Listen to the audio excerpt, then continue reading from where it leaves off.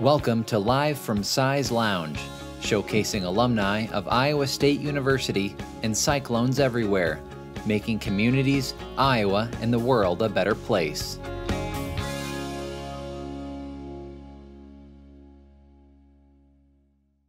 Hello, Cyclones everywhere, and welcome to Live from Cy's Lounge. My name is Matt Van Winkle with the ISU Alumni Association.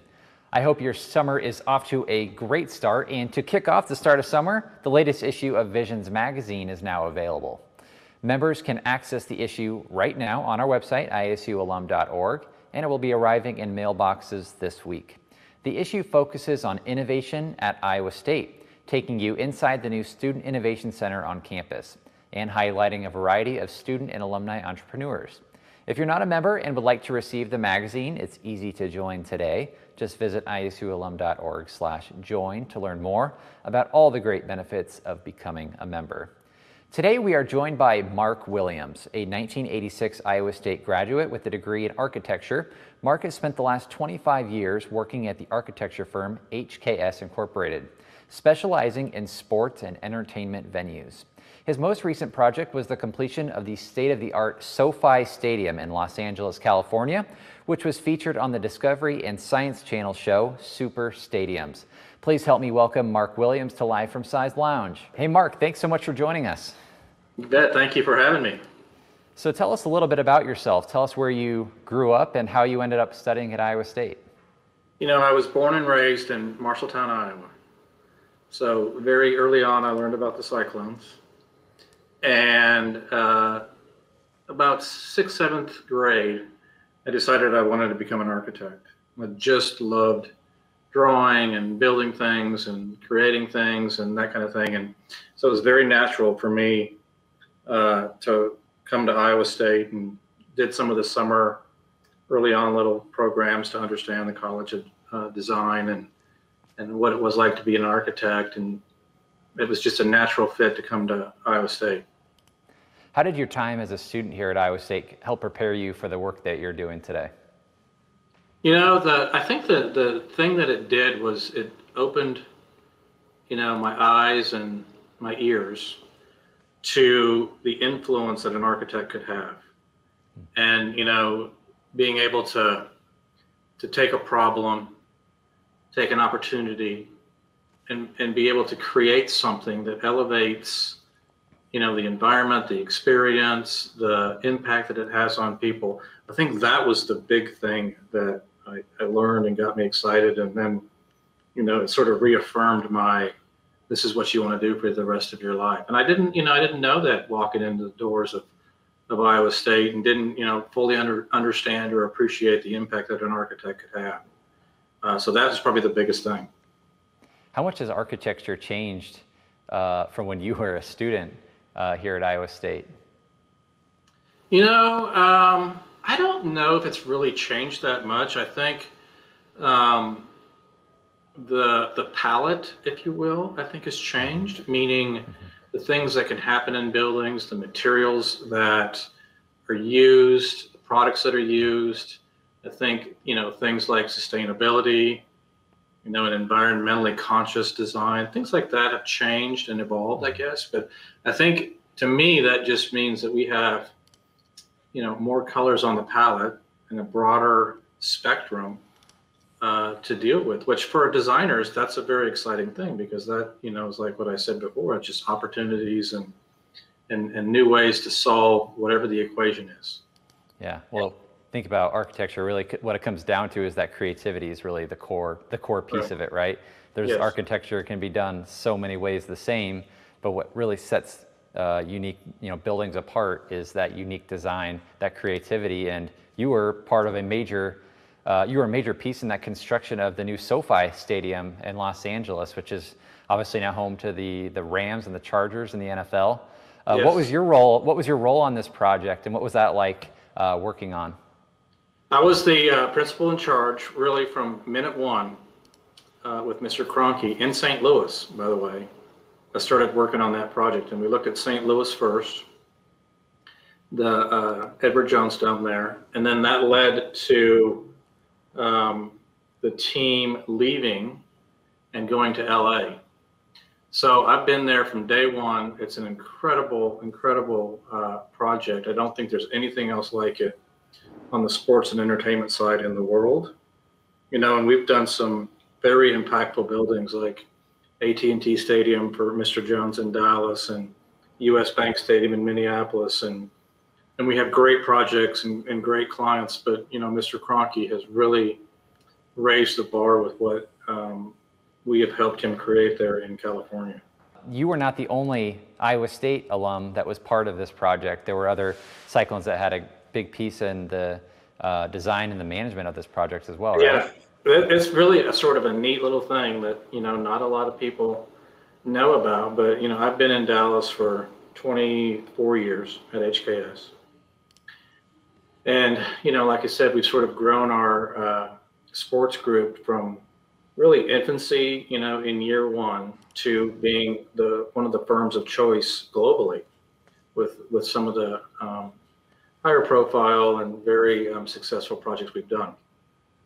The neat thing that is sort of behind the scenes on that is, you know, in our Dallas office when we did SoFi, you know, we had Chad Shekel, Iowa State grad, Andy Henning, Iowa State grad, JJ Kosinski, Iowa State grad, Michael Hurd, Iowa State grad, working on that project. So here we are sitting, and you know, we've got a team that's got anywhere from 15 to 20 ish people working on it at any time. And over a third of that group are Iowa State grads doing the most impactful, all the eyes on the planet, looking to see what the Rams and the Chargers and Mr. Kroenke are doing in Inglewood.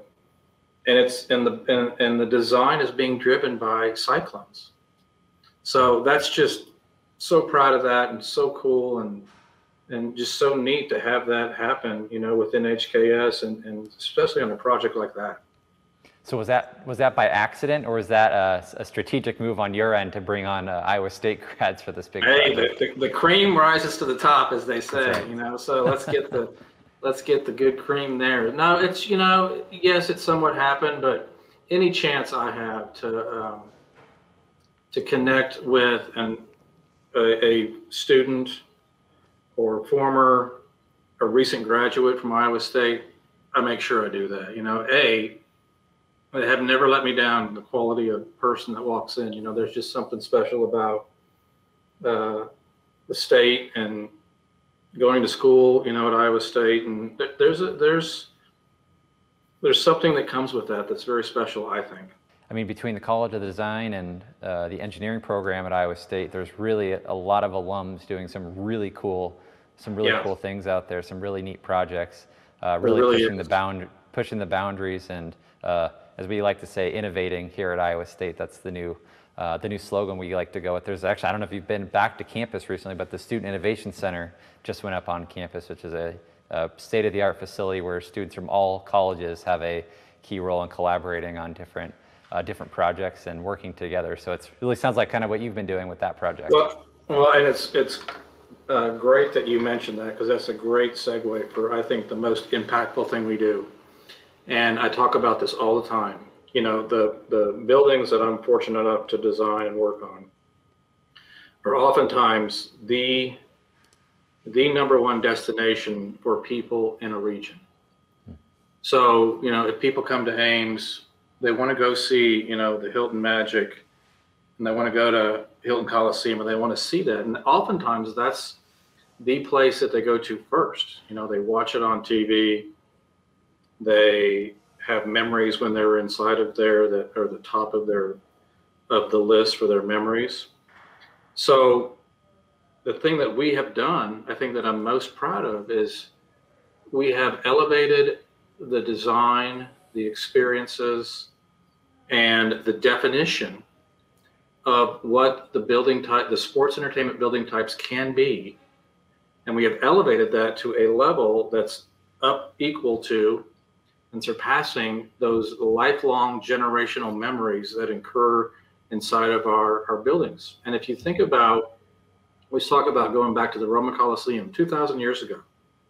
And if you look at, you know, many sports entertainment venues that came uh, hundreds of years after that, the innovation, the evolution of the building type was not as significant as anything else around you. If you looked at, you know, a home in that time frame and a, a modern day home here, it's very different. If you looked at sports venues, some actually have decreased in the quality of the design, the quality of the environment. So what we're doing is we're changing the definition. When you walk in to Mr. Jones's AT&T Stadium in Dallas, Texas, when you walk into Mr. Kroenke's SoFi Stadium in in Inglewood, California, it doesn't look like a football stadium you've ever been in. There's experiences that you can do in there. There's food and beverage that meets the quality of any restaurant in the LA basin. There's um, environments and hospitality finishes that can equate to anything that's that's out there in LA. So that's probably the thing that we've done, and I think that's just innovation and mm-hmm. rolling our sleeves up and trying to figure out, you know, how to make that environment and that experience better for fans. Yeah, I love that. I mean, when you go to a, a sporting event, you really want it to be.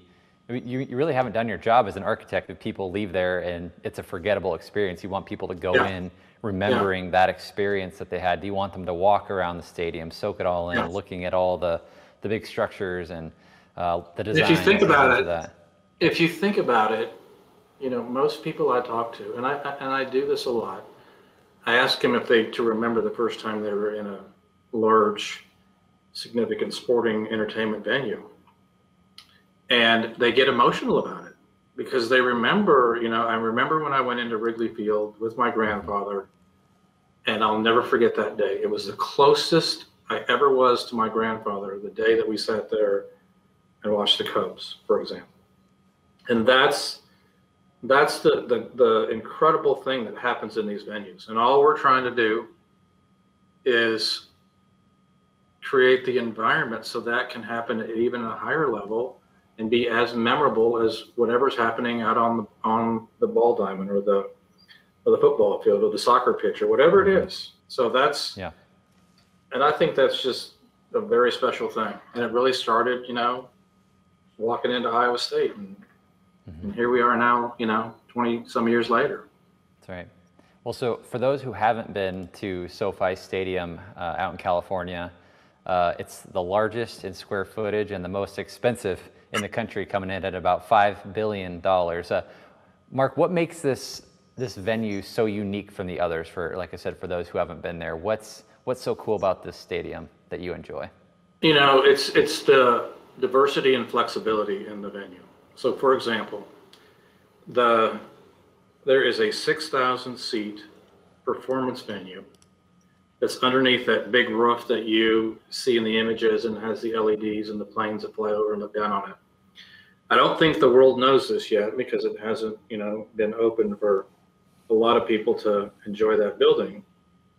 But there's a 6,000 seat performance venue that can compete with any other performance venue that's out there, meaning, you know, full stage and fly and 6,000 incredible seats and environments. Uh, you know, and, and uh, amenities associated with all those.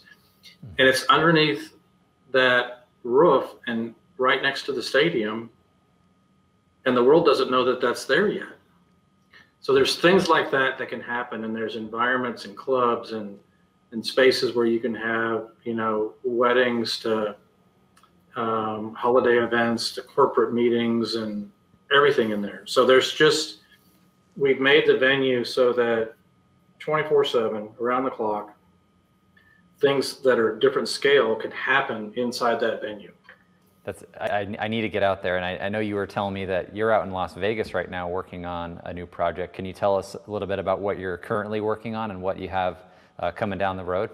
Yeah a lot of things happening you know i think here in the last uh, four months a lot of things have um, started back up again which is great but we're looking at, you know, arenas and ballparks and, and we're doing it globally.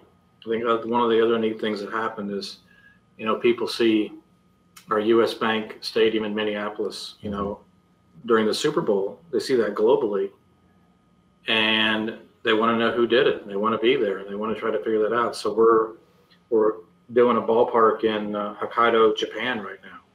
We're doing projects in uh, stadiums in China. We're doing stuff in Australia. We're doing stuff all over the world that's very impactful and, and trying to create those environments, you know, globally, which is a fun thing for us to do. Very cool. So, uh, Mark, Iowa State grads are using their degrees to make their communities, Iowa, and the world a better place. How do you feel that the work that you're doing is making an impact in the sports and entertainment profession? I think I'm, you know, using that knowledge and that experience to, it's really what I've been talking about. It's to create environments mm-hmm. that change people's lives and these events, you know, that people go to, whether it's you know going to a concert to see their favorite performer or their favorite quarterback or their favorite baseball player, they will take those with them till you know the end of their life often. And I just want to, as an architect, have that experience for people at the highest level possible and create the environment that they can celebrate those moments with their loved ones and their friends and their families. So that's what I think about every day. I think about the nine year old boy walking in there with his dad and never seeing a baseball game, a Major League Baseball game, and knowing that when he's 89, he's going to remember that moment with his father. He will never forget that moment with his father. So, what can I do as an architect to make that moment for that young boy even more special and even more memorable. And I just, that's what I do every day is think about that nine year old boy and how do I do that? How can I be a better architect and make his life better? Well, Mark, thank you so much for connecting with us and sharing your story with Cyclones Everywhere. You bet. Thank you. I really appreciate it. Go Cyclones. Right. Go Cyclones. Thanks, Mark. That's Mark Williams. Thanks so much for watching live from Cy's Lounge. We'll see you again next time. This series is made possible by members of the Alumni Association. If you are interested in staying connected to the university and receiving all the benefits and services of being a member, visit isualum.org.